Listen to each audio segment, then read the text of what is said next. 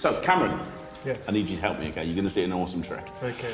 I'm going to show you the difference between a mind reader and a magician.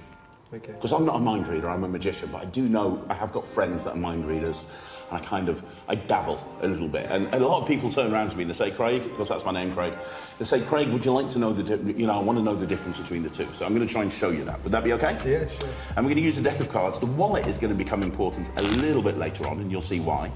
I will tell you, there's something inside the wallet that's kind of interesting. Okay. We'll get back to that in a bit, all right? So, uh, pack of 52 cards. Do you want to shuffle them or do you trust me? No, it's fine, yeah. You happy? Yeah, yeah. Brilliant stuff. You're happy, I'm happy. So step number one, a magician would have a card picked and signed. Magicians are all about signing cards.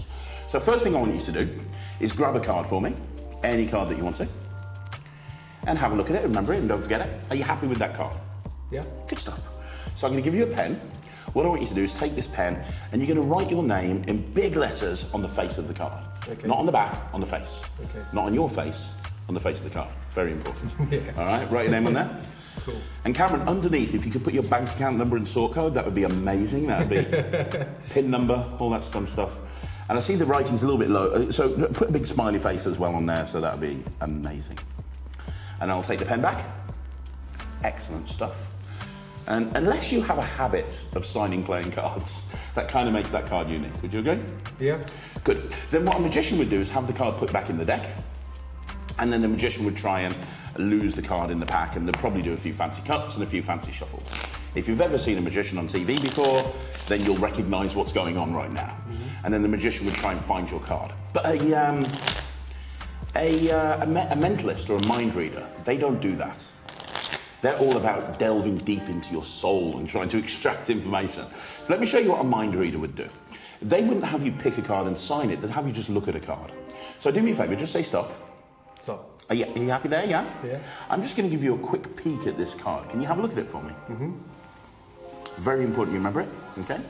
Because later on, when I dramatically say, this is your card, if you go, I don't know, lose its impact slightly, so try and remember it.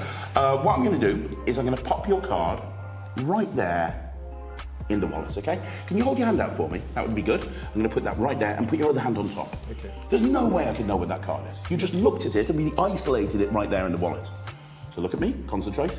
Think of the colour of the card. Mm-hmm. Because it's, it's got to be either red or black. Yeah. It's a black card. It is, yeah. See, mind reading one. I'm channeling my inner Derren Brown here. Concentrate on the, uh, there's 26 black cards. Concentrate on the suit. Mm-hmm. It's either a club or a spade. Mm-hmm. It's a club, isn't it? Yeah, it. Yeah, that's what I thought. It's a club, yeah. Um, so we eliminated, so there's 13 cards left. Uh, picture or number, concentrating on whether it's a picture card, like a jack, queen, or a king, or a number card. Okay. You look slightly to the left, that tells me it's a number card, is that right? yeah. So now I've got 10 cards left to go. What I want you to do is mentally in your head, count through the cards, in your head, silently, not out loud, and stop when you get to yours. Right, okay, you stopped. I think I've got it. Was your card the four of clubs? Yeah, It was, right? Let's just check. Now that's not bad, right?